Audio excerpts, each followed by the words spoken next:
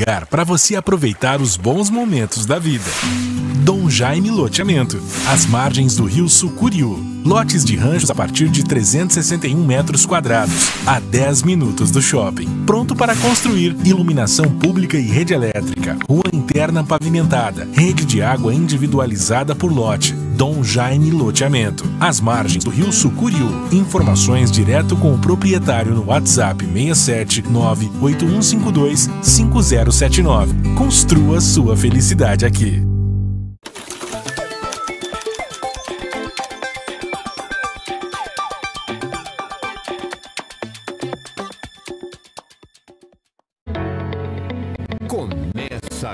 Pela Cultura FM e TVC HD RCN Negócios com André Milton.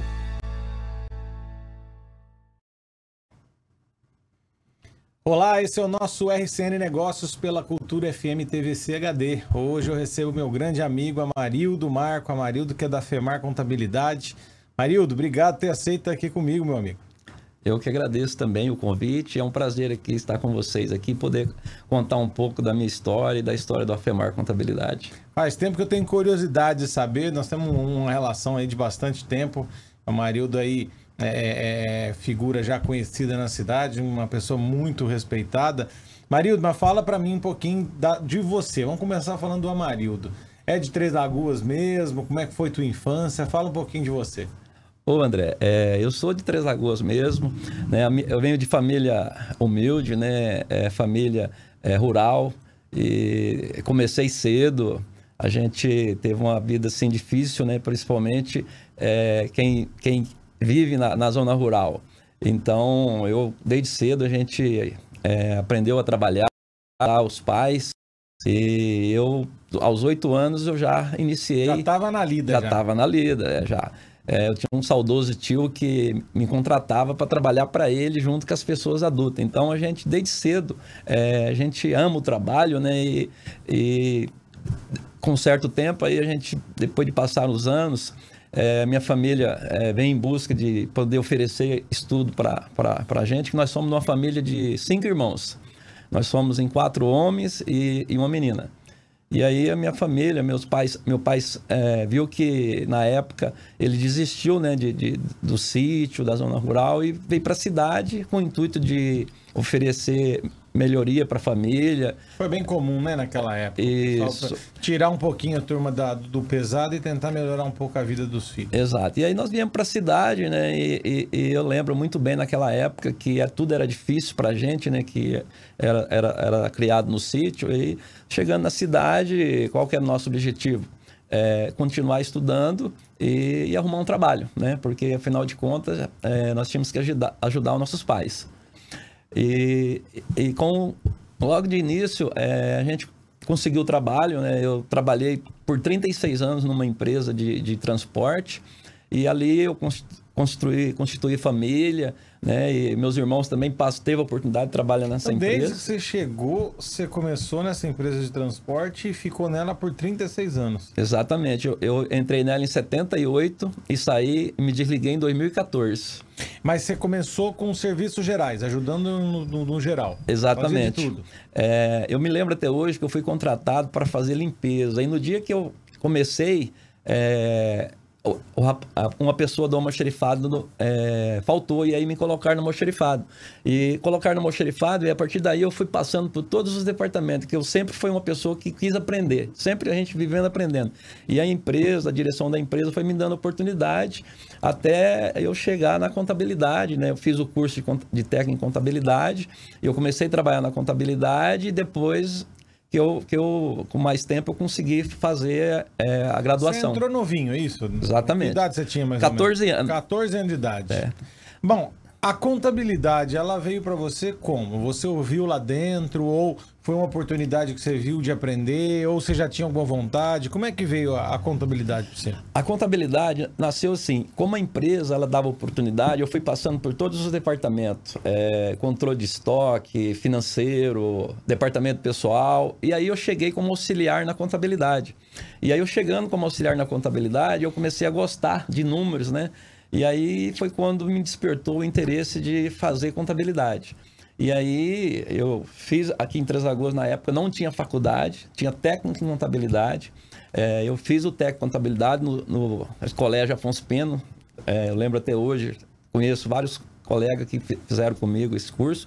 E, e eu é, continuei trabalhando na contabilidade, né? E aí, em 89, 90, é, que eu concluí o curso de contabilidade. Olha só. E aí, com a conclusão do curso, é, foi me dando mais confiança, né? E, e aí, por uma necessidade é, da família, um cunhado meu, o contador deles, eles estavam, assim, entregando o serviço por aposentadoria. E aí, meu cunhado me chamou na época e falou: Você não quer pegar a contabilidade da nossa empresa para fazer? E aí, eu vi ali uma oportunidade de negócio, porque é, eu tinha um sonho de montar um escritório, né? Mas é, como eu já tinha família, para a gente montar um escritório é, sem a gente ter uma estrutura, fica difícil. Então eu vi uma oportunidade de eu é, estender minha jornada de trabalho, né? Então eu chegava, trabalhava na empresa, chegava à noite, eu trabalhava. Era, era que tipo de empresa? É, segmento de supermercado. Ah, era um supermercado é, da família. Da família. Inclusive, é o meu, foi meu primeiro cliente e é cliente até hoje. Olha só. É, eu, eu, eu, sinto orgulho até de, de comentar com eles que é, eu tenho eles como uma referência dentro do, do, do nosso escritório. Ô Marildo, então, é, esse momento, que é um momento que muita gente passa, até já falei disso em algumas entrevistas, como é que foi para você? Você ter lá um emprego, né?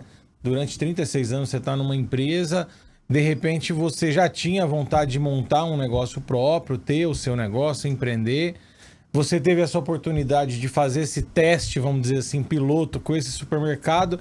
E aí tem aquela insegurança, né? Tenho minha família para criar, tô aqui tranquilo, por que, que eu vou inventar moda, né? O que, que você pensou naquele momento? Então, naquele momento, é, a oportunidade é, foi, foi até por assim, é, uma necessidade de melhorar minha renda.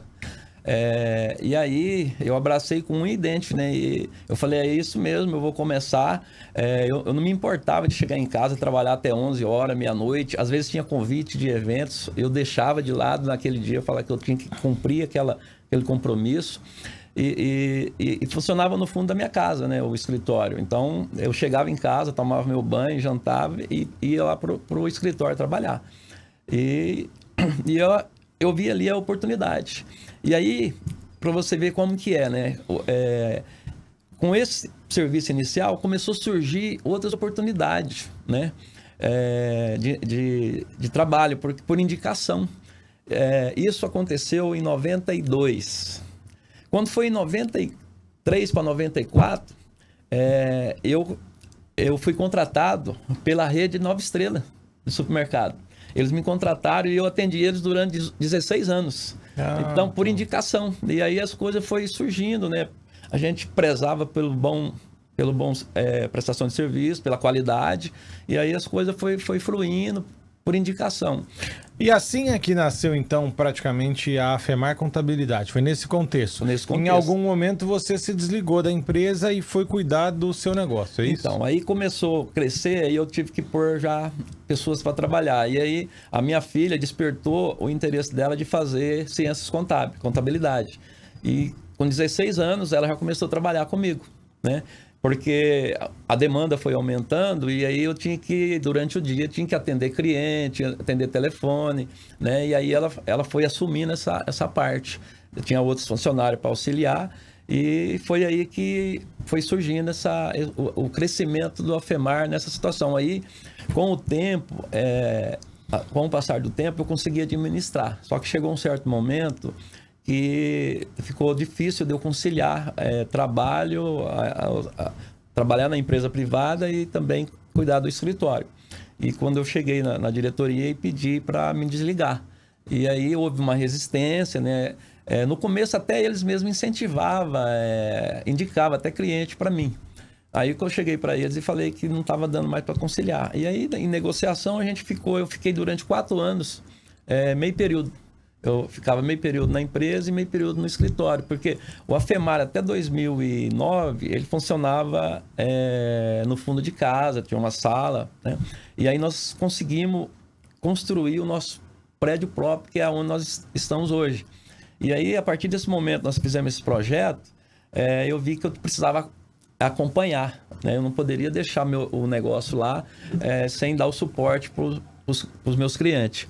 E aí foi nesse momento que eu fui para dentro do escritório e me desliguei é, por um período da empresa, fiquei só cumprindo meia jornada, mas aí depois do, nós fizemos uma ampliação. É, nós tínhamos um projeto para ampliar o escritório em 10 anos. Foi o nosso planejamento. Só que com 5 anos, é, nós tivemos que fazer a ampliação. Antecipar esse, esse projeto. Exatamente. Que coisa boa. Agora, a FEMAR hoje, quantos funcionários você tem? Mais ou menos quantos clientes você tem? Qual que é o perfil do escritório? Fala um pouquinho da FEMAR. É. A FEMAR hoje, nós estamos com 32 colaboradores, né? nós temos 32 funcionários. É, o escritório, ele, a gente tem prezado muito é, pelo bom atendimento.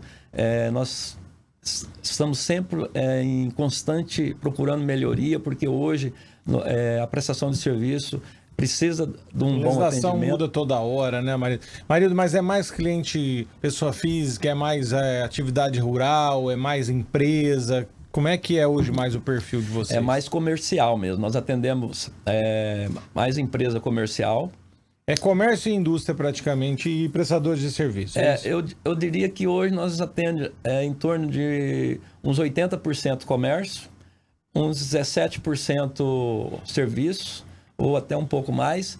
E pessoa rural mesmo nós temos pouco. Tá. É... Perfil teu é mais empresa e principalmente aquelas empresas que precisam de uma contabilidade um pouquinho mais complexa e mais detalhada, né? Exatamente. Bom, nasce a ideia de um negócio no empresário, né? É, olha, vou montar alguma coisa, vou fazer alguma coisa. Talvez uma das primeiras pessoas que ele precisa é de um contador, né? Como é que você vê esse empresário quando chega você é, cheio de vontade, cheio de ideia? Você tem alguma história bacana? Como é que, como é que funciona isso? O, o início de tudo, você dá quais orientações você costuma dar? Como é que é? Então, André, é, isso, isso, é a gente com o passar do tempo, é, com a, a, gente vai adquirindo experiência, né? E, e, quando o empresário chega no nosso escritório e a gente, ele fala qual que é a ideia dele, o que, que ele quer, é, a, a, nossa orientação, assim, é, eu até, porque você sabe que tem empresários que às vezes eles, ele deu uma ideia lá, ele acha que é só isso, e não é. Normalmente, é, quando eu vejo que o negócio é, é interessante, eu procuro é, saber se ele fez talvez uma pesquisa de mercado, se ele já é, viu na região ali o que, que tem daquele segmento, né? E, e, e às vezes, porque é, eu já cheguei a orientar cliente que às vezes, é, para ele não abrir o negócio de imediato, às vezes abrir um MEI para ele poder ver se o negócio. Sentir o negócio. Se o negócio dele vai decolar. É. Porque a gente sente que. Porque com certeza a sua atividade não é puramente de contabilidade. Ó, eu vou lá, tá aqui meus números, vou organizar.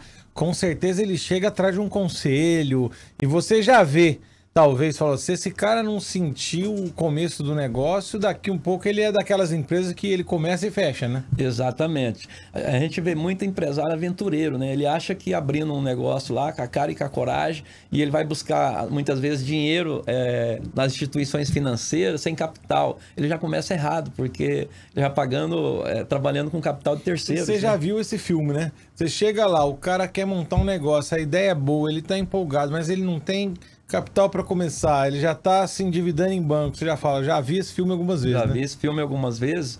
E, e só que às vezes, assim, eu não falo diretamente para ele, né? Que ele está de empolgado. forma empolgado, né? Porque às vezes ele fica decepcionado, mas às vezes eu falo para ele ter um pouco de cautela, né? E hoje, porque muitos empresários, é, a gente tenta conscientizar eles, é, do, é, negócio é negócio, Vida pessoal é vida pessoal. Eu ia perguntar isso. A maioria das, da, dos negócios começa numa ideia e, e, e vida e mexe começa em família, né? É, quais os principais problemas que você começa a ver já quando começa um negócio em família e essa mistura de negócio e casa? Ah, o principal problema é que eles não, se, não sabem separar. Então, quando eles não separam, o risco de o negócio não dar certo é muito grande. Separar as contas, você É, fala. separar as contas, exatamente. Né? Porque é, eu, eu- eles misturam as despesas e aí, é, quando eles fazem isso, o risco de não dar certo é muito grande. Só que a- a- eu, às vezes eu passo para ele, na maioria da- da- das situações, e só que eles, eles não, não aplicam o que a gente, a- as nossas orientações. Eles misturam e aí é, a questão de fluxo de caixa, eles não montam. Eu, eu, eu tento orientar eles com relação principalmente a sistema, a ter um, um, um DRE gerencial, separar as despesas. E eles até saem dali falando, não, é, nós vamos fazer dessa maneira, mas depois você vê Eu que- tenho uma loja e a loja vendeu, aí vê o movimento da loja, só que eu tenho a conta de luz da minha casa para pagar. Eu vou pago. Às vezes eu tenho um boleto do supermercado ou do seguro do meu carro. Quem paga é o meu comércio. Então é essa, essa mistura que existe. É, exatamente. Só que eu falo para eles que como ele trabalha na empresa, ele tem que ser remunerado. Então, ele fazer um prolabore para ele, né, e um salário pro, se, se a esposa eh, ou quem mais da família trabalhar, para eles fazerem um salário, porque também ele tem o trabalho dele, né? Então, ele pode até eh, ter essa despesa, mas ele tem que pagar separado. Então esse é o primeiro ponto. O negócio tem a vida dele, né? E esse negócio pode dar lucro ou não. Exato. Então, se ele der algum lucro, eu tenho que definir quanto desse lucro eu, sócio ou dono da empresa, vou viver. Quem está na minha família, quem estiver trabalhando, quanto vale o trabalho dessa pessoa e eu tenho que viver daquilo. O que acontece é que as empresas às vezes vão gerando, eu não sei se ela deu lucro ou não, também porque ela está pagando despesa da própria família. Exatamente. E vira aquela bagunça, né? É, tem as exceções. Eu tenho é, empresário que até eu- a gente parabeniza ele pela organização. Eu tenho as exceções é, que eles são realmente bem controlados e faz todo esse, esse controle, esse gerencial que nós acabamos de estar conversando aqui. Mas o principal é, na organização é eles ter esse controle é, das contas, né? É, como você falou, é, eles têm que ser remunerados pelo trabalho. Só que é, às vezes ele tem que pensar também que durante cinco, seis meses ele não pode fazer retirada da empresa. É, ele tem que fazer um. A empresa, quando um está investimento. começando, normalmente ela está reinvestindo, ela está Reinvestindo. crescendo. É, Exato. E tem aqui também que, tá bom, o marido falou que eu tenho uma remuneração. Aí eu vou lá e pago 10 mil minha remuneração. Mas às vezes não comporta. Às vezes a empresa não pode pagar. Se eu fosse contratar um profissional no mercado para aquela função, às vezes não era, era 10, era 2, era 3, era 4, né? Exatamente, porque isso aí, o custo dele tem que entrar no custo fixo para ele poder ver o ponto de equilíbrio da empresa dele, né? Porque se a empresa dele tem um faturamento excelente e a margem boa, ele pode ter um salário de 10 mil, igual você falou. Mas se a empresa dele não tem um, um faturamento é, expressivo e tem uma margem pequena, às vezes 10 mil para ela vai ser muito. Então, ele tem que ter um ponto de equilíbrio para ele falar, eu tenho que vender tanto para mim sobrar tanto. Ou, a partir daquele número, se ele vender bem acima, ele sabe, "Bom, agora eu estou ganhando dinheiro. Marildo, a gente ainda falando da FEMAR, tá? É...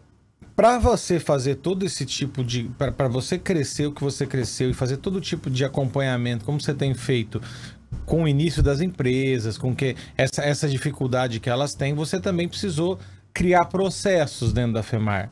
Ou seja, você também precisou deixar de ser uma empresa familiar e criar um, um- um- esquema profissional. Você teve que implantar na sua empresa de contabilidade. E você também eh, contou com um programa, por exemplo, que foi um programa de qualificação de fornecedores, o PQF. Fala um pouquinho disso, o que, que representou para vocês? É, ô André, é, eu sempre prezei pela qualidade né, e, pelo, e, pelos processos. E aí, é, quando surgiu essa oportunidade, é, eu decidi, nós decidimos lá em participar, porque a gente tinha as ideias, mas a gente não colocava no papel, a gente não tinha o- o- os números, nós não tínhamos os, os apontamentos, os registros. E aí nós decidimos participar desse programa, que é o PQF, é é um programa aqui do Estado, que é, inclusive é subsidiado pelo SEBRAE, Suzano, Prefeitura, é, o SESI, tem vários parceiros.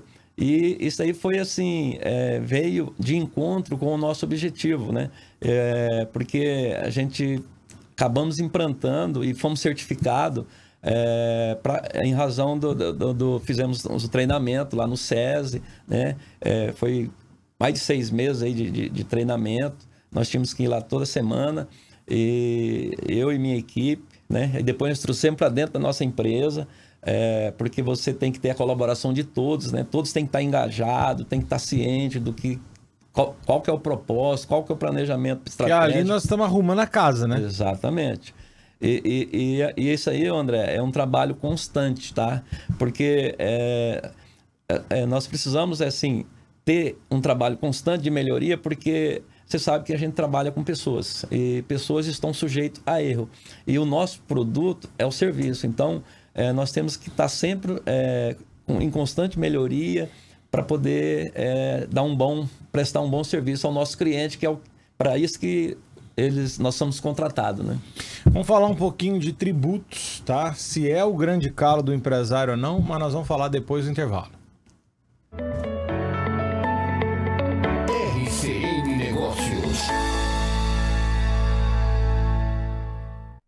Um lugar para você aproveitar os bons momentos da vida.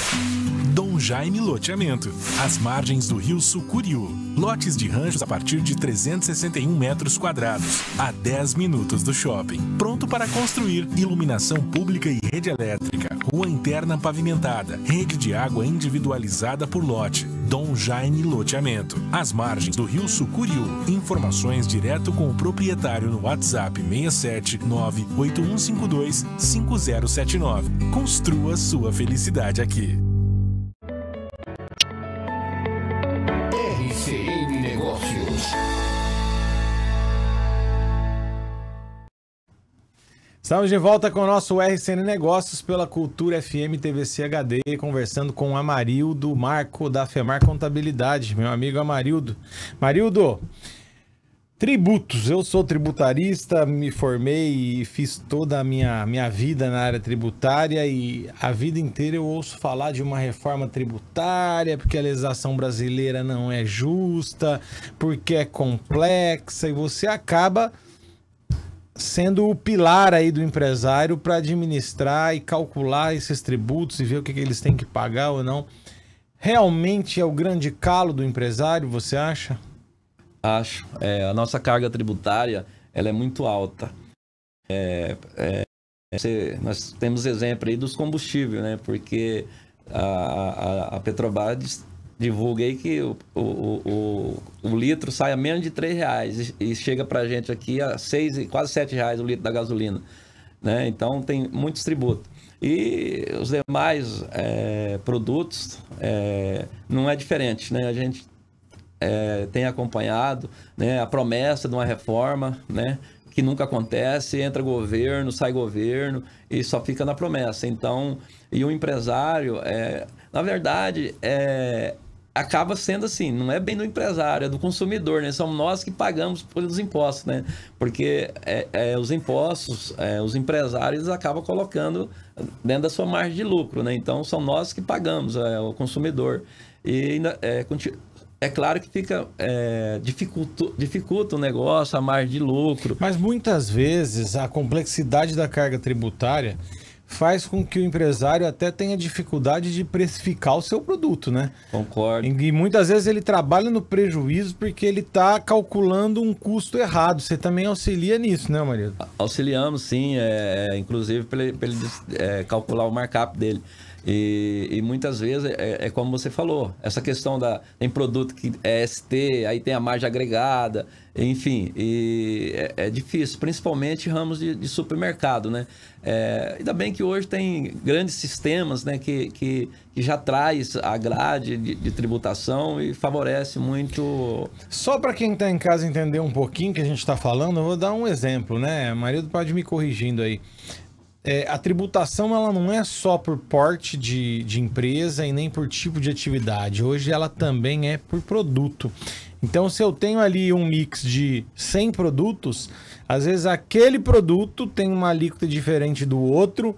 E, e depende se eu vender para alguém que é grande ou pequeno e se tiver fora do estado ou não. Ou seja, eu lembro muito bem eu, eu atuava em Ribeirão Preto, no nosso escritório em Ribeirão, e eu recebi um grupo de empresários de Portugal, ramo de porcelana. A gente advogava ali para Porto Ferreira, que é ramo de cerâmica, uhum. e, e, eles fecharam um contrato com a gente que era para entender como é que eram os tributos no Brasil? Primeira vez os caras aqui. E aí, mas peraí, tem que pagar tributo para a prefeitura. Não, mas para o estado também. Ah, mas para o governo federal também. E, mas vem cá, já tem um tributo que é o PIS e COFINS, que é sobre a venda para os federal. Mas peraí, o ICMS também para o estado. Mas peraí. Isso Ficou mesmo. uma loucura na cabeça dos caras. Eles, no final eles falaram o seguinte: passei um dia inteiro com eles. Mas dá para ganhar dinheiro assim? Eu falei, tem uns que ganham ainda. Mas é isso mesmo você falou, a complexidade, né? Porque hoje, quando a gente fala regime tributário, do simples, né? É, quando fala o simples, é, é, as pessoas re, acabam recolhendo uma única guia. Mas quando ele deixa de ser simples, é, quando a gente fala, ó, tem que fazer PIS, COFINS, Imposto de Renda, Contribuição Social, ICMS, ISS, os caras ficam loucos, mas é, é, são muitos tributos e aumenta muito o, o, o, o serviço do, da, do, do, do, escritório. E o teu honorário de contador, ele acha que é simples também, porque ele acha que o trabalho é simples. É, exatamente. E não é assim, é bem complexo, como você falou. E, inclusive, é, por exemplo, quem trabalha com importação também, porque ele importa é, é, vamos supor, importação vem, do, vem do, de, de outros países, né? É, é, é, uma forma. E tem também a importação que é de dentro é, das unidades federativas, que ele compra de outro estado. tem alíquota diferente. Às vezes o estado de São Paulo aqui, o comércio compra lá, vem com 7, ele tem que pagar 17, né? E lá dentro a alíquota interna é 18. E tem todas essas situações que é difícil até para o empresário entender. E para a gente explicar. É muito complicado. Bom, você deve ter visto. Pode falar, Manito. É, é, só que eu queria até fazer uma referência aqui. Eu atendi um empresário, tá com uns 15 dias mais ou menos, de, da região ali de Votuporanga. Ele já tinha alugado o, o, o prédio aqui e ele foi lá no escritório para ver a parte de tributação. Quando eu passei para ele, ele falou: Eu tinha que ter vindo aqui antes, senão não ia abrir o um negócio aqui no, em Três Lagoas, porque porque ele achou assim que seria muito imposto para ele trazer para cá a diferença de barreira e, e, e, tudo mais. Então ele alugou um, um, espaço que ele ia pagar 10 mil reais por mês. Ele falou: onde eu vou ganhar dinheiro? Então é assim. É, por isso que às vezes a gente fala que o empresário às vezes tem que fazer o estudo de viabilidade do negócio, né? Para ver se, se é uma pesquisa de mercado, para ver se ele, se ele, vai, se ele vai ter retorno. Porque o empresário nenhum, ele, ele, ele, ele monta um negócio de hobby retorno, porque ele está fazendo investimento lógico, e tudo mais. Lógico. Bom, você deve ter visto muito problema também entre sócios, que é normal você ser sócio da sua família, mas também é normal você ter um sócio e começar um negócio a partir dessa ideia, né? Você já viu muita coisa, é, realmente é mais do comum do que a gente imagina. Tem alguma história bacana também, Marildo? Olha, eu, você como advogado aí, você sabe, a gente tem feito até alguns trabalhos junto, né? Que acontece, às vezes, no negócio ter a divisão de ideias e acaba, assim, tendo que se dividir, né?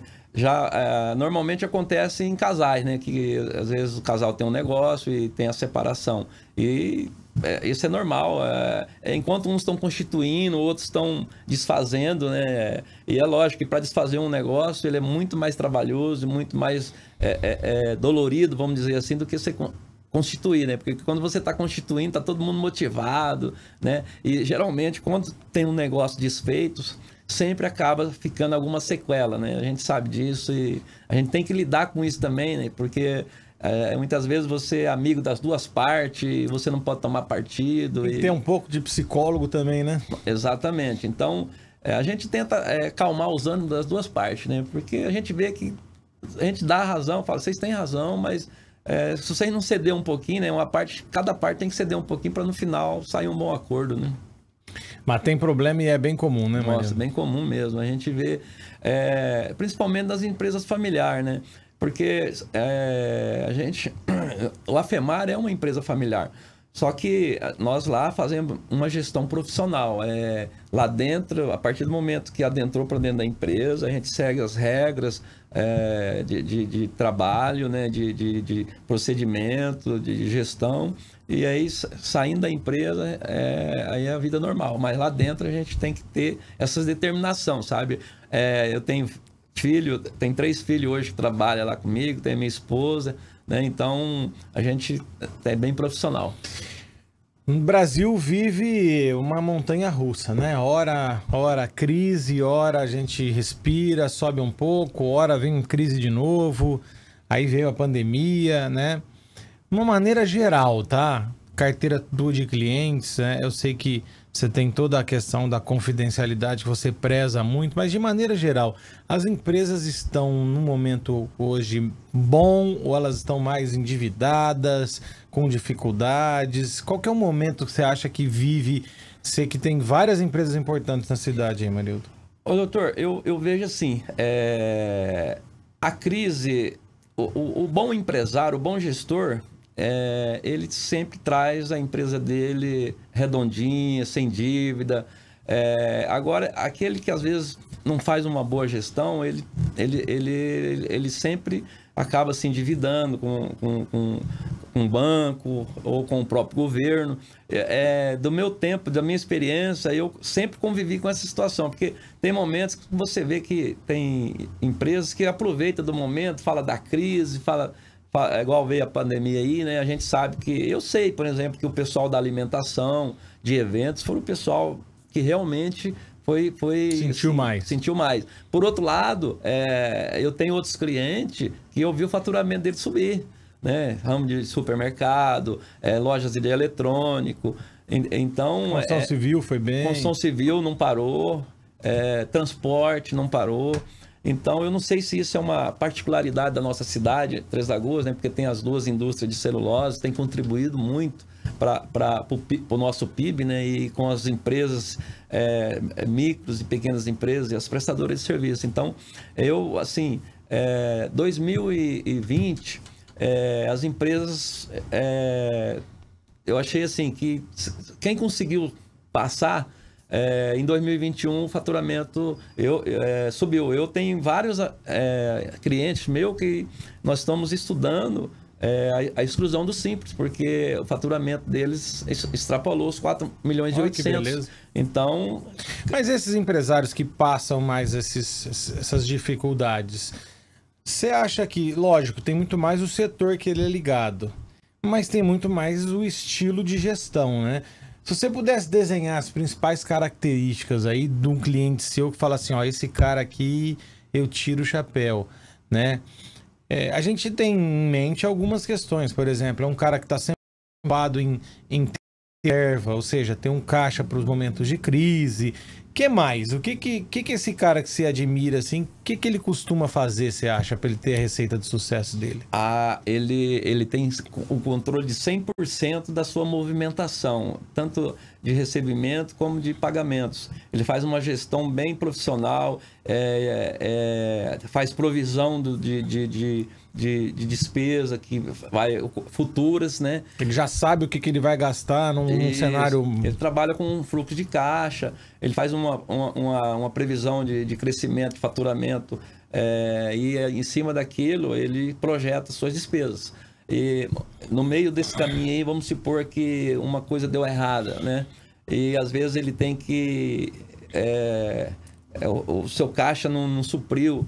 Em vez dele buscar, muitas vezes, um, um, capital de terceiro, às vezes ele tem um bem lá que está ocioso, ele, ele disponibiliza aquele bem para venda, né? Porque é um capital próprio e coloca dentro da empresa e, e, e em seguida ele, ele compra um novo e, e assim por diante. Porque principalmente o empresário no lucro real, ele, ele se ele fazer essa gestão é, de, de, de, eu estou dizendo aqui, um bom financeiro, um bom, um bom gerenciamento é, operacional, é, de equipamentos, por exemplo, transportadora. Ele, ele, ele, ele compra os seus equipamentos, depreciou 100%, ele coloca aquele equipamento à venda, que já depreciou, ele já beneficiou da, da, da despesa da depreciação, do, do, custo de investimento, vamos hum. dizer assim, né?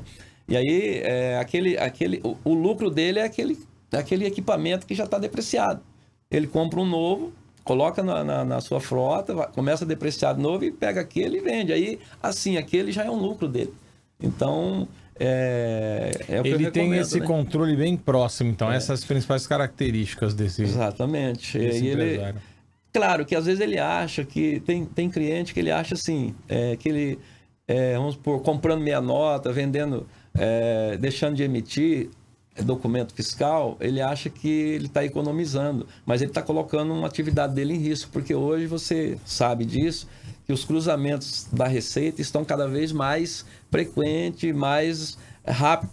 Então, é, e a receita quando ela pega, ela não pega é, o último ano, ela pega os últimos cinco. Então, muitas vezes ela, ela, ela dificulta. Você tocou num negócio importante, principalmente quando o empresário está em crise ou ele está com necessidade de caixa. Aí ele co costuma trazer para o contador uma, uma, uma responsabilidade que é dele, né? Ou seja, aí ele começa às vezes a querer trabalhar errado, querer não informar para o fisco algumas coisas. Como é que você vê isso e os desafios do contador nessa nesse momento, né? Como lidar com isso? E quais as principais responsabilidades de um escritório nesses, nesses momentos? A, a responsabilidade nossa como profissional é muito grande, porque gente, nós somos responsável solidário, né? E o que eu vejo assim, hoje é, não, não dá mais para se pensar nisso, porque os cruzamentos, é, a, a, interligação dos órgãos, tanto municipal, estadual, com a Receita, é, é frequente. É, é, frequente não, é, é, é online praticamente. Então, o que está acontecendo aqui, é, a prefeitura, você faz uma emissão de nota.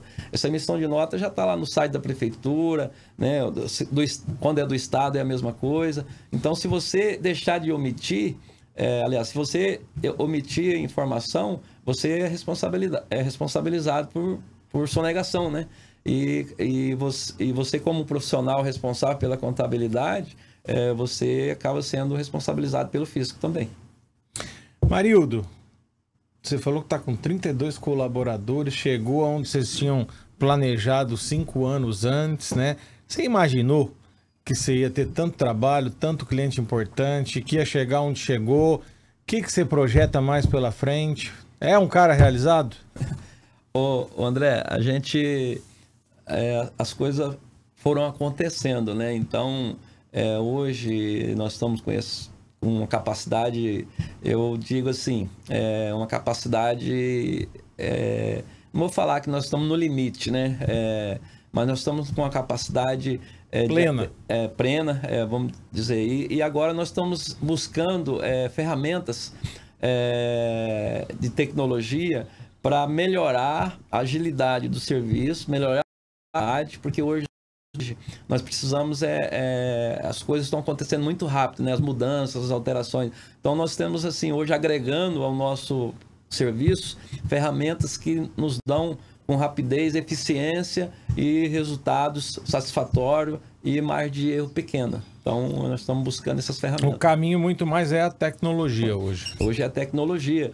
É, nós estamos assim, é, além do sistema contábil hoje, nós temos lá umas seis ferramentas é, de armazenamento de, de, arquivos XML, ferramenta que faz a, o envio do documento automático para o cliente, né? uma ferramenta agora que faz é, análise da situação fiscal do cliente, é, é, é, principalmente assim aquele cliente que precisa de certidão, né? E às vezes a hora que precisa da certidão vai no contador, a certidão dele não sai. Isso aí nós estamos fazendo um trabalho de prevenção, né? É, eletrônico. Então, quando tem uma ocorrência lá no ECAC, a gente é notificado e aí nós passamos para o cliente para ele poder, é, se ele tiver interesse de regularizar, né, e fazer isso aí. Marildo, obrigado pelo bate-papo. Vai ser o primeiro de muitos, tá? Parabéns aí pela trajetória e, e espero que você volte sempre, meu amigo. Nossa, André, eu agradeço imensamente em nome da família FEMAR. É, nós estamos lá à disposição é, para atender, né, fazer uma visita de vocês. O grupo RCN aqui é um prazer, a gente atende ele já há mais de 15 anos, são nossos parceiros. E eu agradeço imensamente esse tempo aqui passou tão rápido, tão gostoso esse bate-papo que é, a gente estou à disposição para outros futuros aí. Só precisar, é só chamar. Obrigado, meu amigo. Um abraço. O nosso RCN Negócios fica por aqui. Espero você sábado que vem com mais o convidado. Até lá!